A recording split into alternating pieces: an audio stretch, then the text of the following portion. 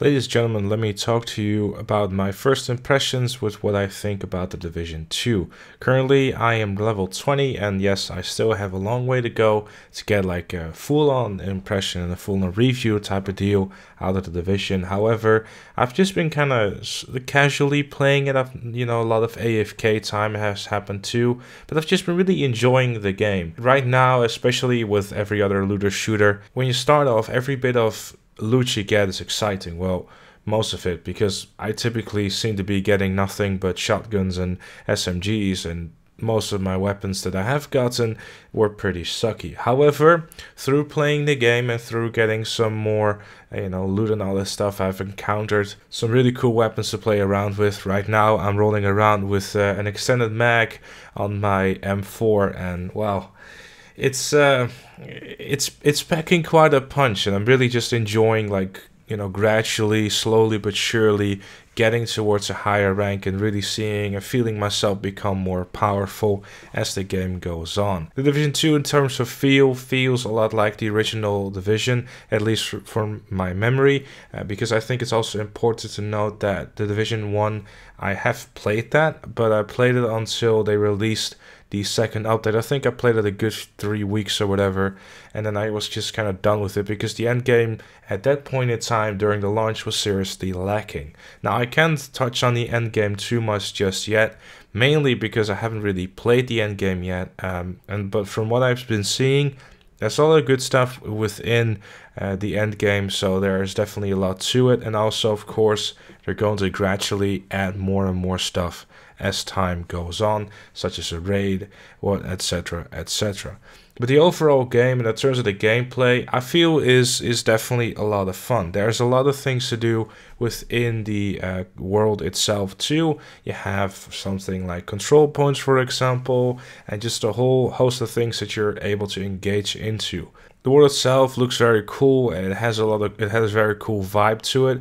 And also, what I personally also really enjoy is the fact that the main missions feel a lot more immersive in a way too. There are some set pieces here and there too. There happens a little bit more than going from point A to B and killing a bunch of guys during the process of that. Side missions aren't like they were in Division 1, where they were very short and just gave you a bunch of XP for essentially doing nothing.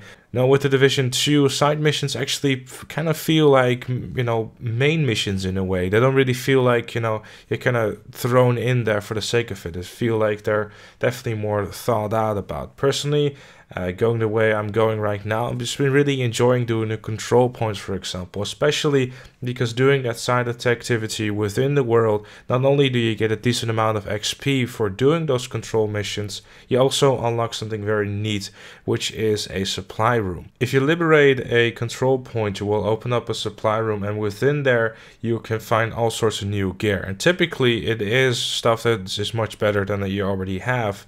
Obviously, RNG is still involved, but it is always exciting when you do get that next weapon that is just a little bit better than what you already had and makes your life a little bit easier while roaming through the worlds of Washington, D.C.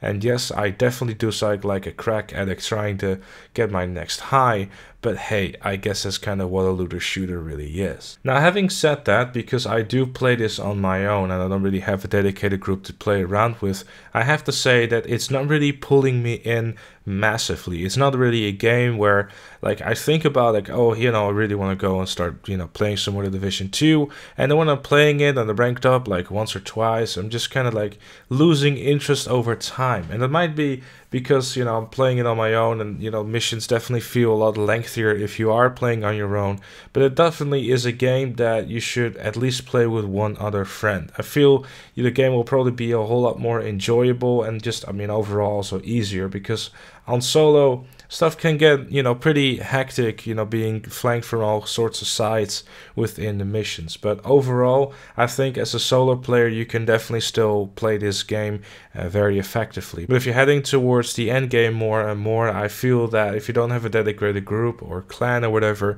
you're probably going to have a very tough time getting more enjoyment out of the game than you might have already had. But those are just some of my quick first impressions with the game. If you have played the game yourself or you might even be a little bit further than I personally am, feel free to let me know down in the comments down below. But with all that said and done, thank you so very much for watching. Leave a like if you enjoyed, subscribe for more, and I'll see you all later. Probably in a full-fledged review when I actually played the end game.